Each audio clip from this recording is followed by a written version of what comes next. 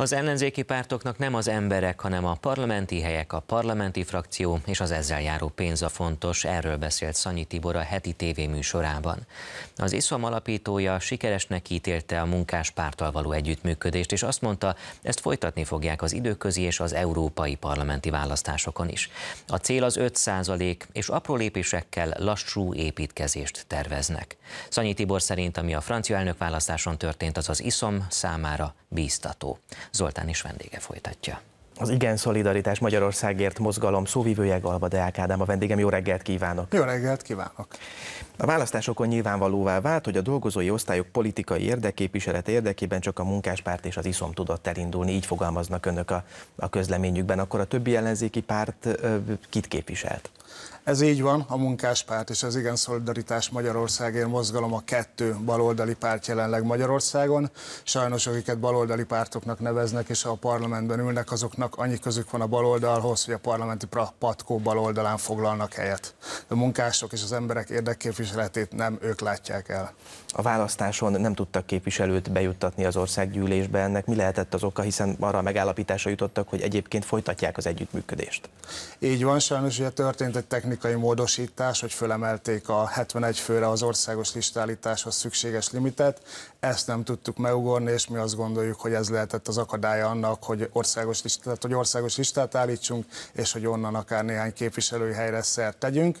Másrészt ugye az ország nagyon kétosztatú volt a választások előtt, tehát volt egy kormányzati, egy Fidesz párti tömb, volt ez az úgynevezett ellenzéki, mi csak hatos fogatnak hívjuk őket, és mind a két oldalnak nyilván az volt az érdeke, hogy azt mondják, hogy csak ők vannak a pályán, és csak rájuk lehet szavazni, úgyhogy én ezt is az egyik olyan oknak látom, amiatt nem lett képviselőnk.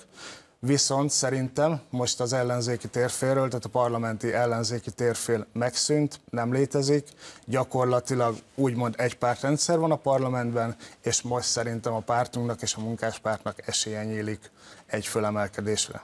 A munkáspárt és az ISZOM úgy véli, hogy továbbra is együtt kell működni. Ennek az együttműködésnek milyen szintjére fognak lépni, hogyan képzelik el ezt a továbbiakban? Még szorosabban? Az mit jelent? Alapvetően ez egy akciószövetség, ugye az országgyűlési választásokra jött létre, viszont most számos időközi választás lesz, ahol együtt indulunk, például Budapest 7. kerületében, 5., 8. kerület, Kecskemét, Salgótarján, viszont van számos település, ahol nem fogunk együtt indulni, hanem önálló indulunk, vagy nem veszünk részt a választáson. Igazából ez egy akciószövetség, mi a munkáspárba találtuk meg azokat a közös baloldali értékeket, amik számunkra is fontosak. Hogyha a parlamenti helyek számát nézzük, akkor a Demokratikus Koalíció a legelősebb ellenzéki párt. A DK vezetője Gyurcsány Ferenc úgy fogalmazott, hogy az ellenzéki pártok képviselői merjenek gyurcsányabbak lenni. Önök hogyan lesznek gyurcsányabbak? úgy látjuk, hogy ez a merjenek gyurcsányabbak lenni, ez már bejött, ugye négyszer kétharmadot eredményezett a Fidesznek és a KDNP-nek. Mi nem szeretnénk Gyurcsány Ferenccel és pártjával semmilyen közösséget vagy közösködést vállalni, mint ahogy az elmúlt években sem vállaltunk. Tehát mi úgy gondoljuk, hogy ők egy neoliberális hatalomtechnikus párt, mi nem azok vagyunk, tehát nekünk semmilyen közös pontunk nincsen velük. Az látható most az ellenzéki pártok soraiban, hogy megkezdődött egyfajta megújulás, Tóth Bertalan nem indul újra az MSZP társelnöki pozíciójáért, Újhelyi István viszont indulna, ő meg is változtatná az MSZP nevét, úgy fogalmazott, hogy elhervatta a szegfű. Számítanak arra, hogy ezekből a pártokból majd átvándorolnak az iszomhoz vagy a munkáspárthoz? Lehet az önök szövetségének egy ilyen elszívórája? Van ennek már bármilyen nyoma?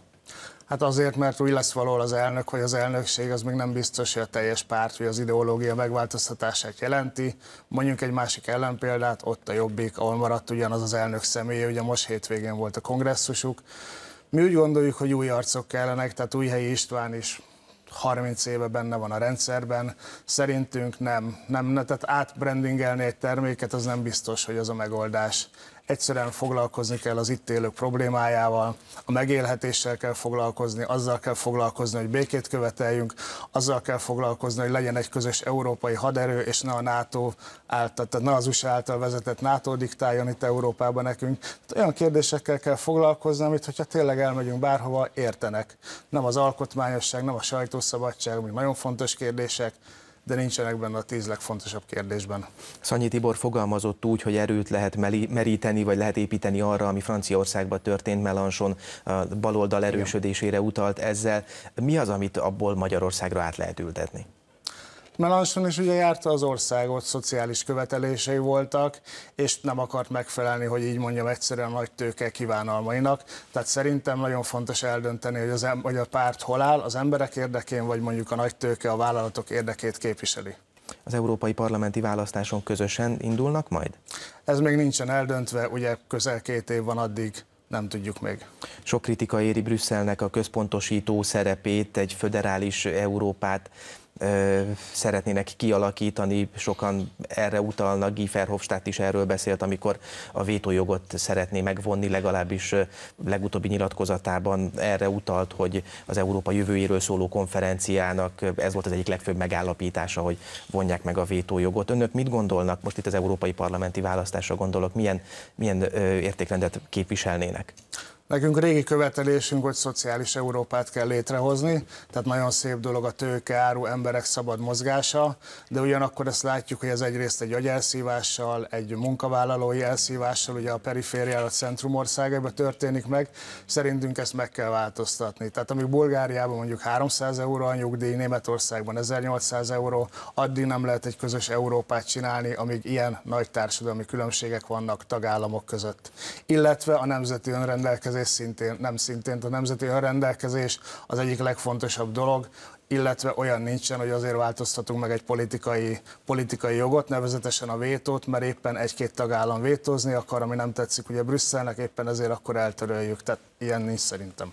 A hazai ellenzék vezető erejéről már esett szó, a demokratikus koalíció vezetője többször is azt hangsúlyozta, hogy ő több Európát szeretne. És hát azért azt látható, hogy az elmúlt 12 évben Gyurcsány Ferenccel és nélküle sem nagyon tudott mit kezdeni az ellenzék hiszen ő lett a vezetőerő most is az országgyűlésben.